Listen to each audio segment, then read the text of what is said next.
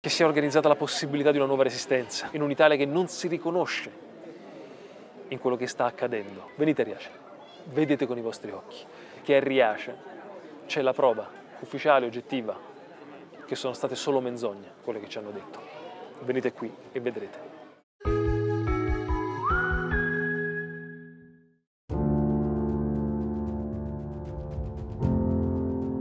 Riace è una città che sta insegnando all'Italia, all'Europa, un nuovo modello di accoglienza. Una città dove l'emigrazione aveva sostanzialmente dissanguato il paese, cioè stava morendo, letteralmente morendo. Ormai erano emigrati tutti, o quasi.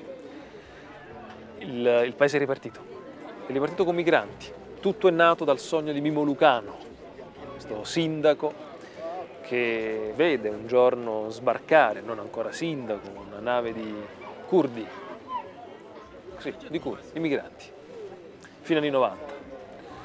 Da lì nasce questa idea, questo sogno di poter eh, fare dell'accoglienza un sistema, un sistema che fa ripartire la città. E così è andato. Eh, le urla che sentite di bambini di ogni nazione, l'accoglienza che è diventata uno strumento per ridare libertà a un territorio, una libertà nata dalla possibilità di eh, curarsi a vicenda.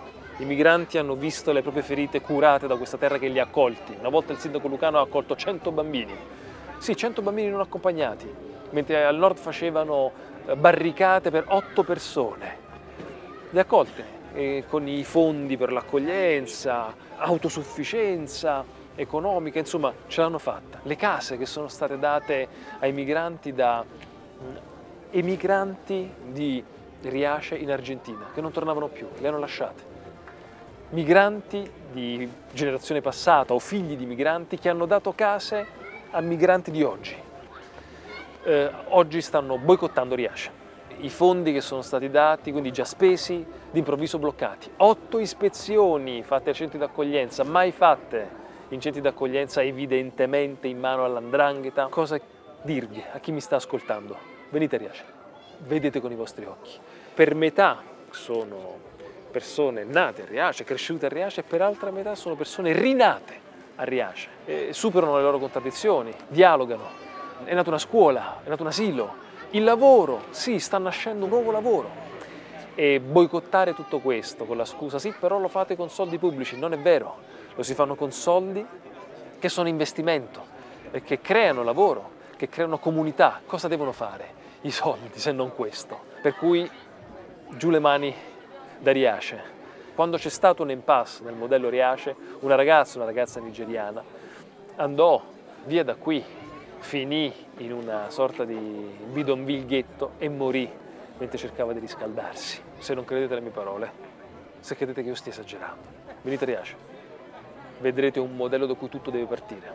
Qualunque sia in futuro l'Italia che vuole opporsi a questo governo populista, reazionario, che fonda tutto sulla propaganda, io dico che da qua deve ripartire, che siano organizzati congressi, che sia organizzata la possibilità di una nuova resistenza in un'Italia che non si riconosce in quello che sta accadendo, nelle parole di Salvini, nelle bugie di questo governo.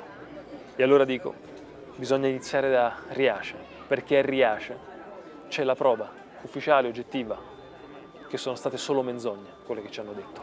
Venite qui e vedrete.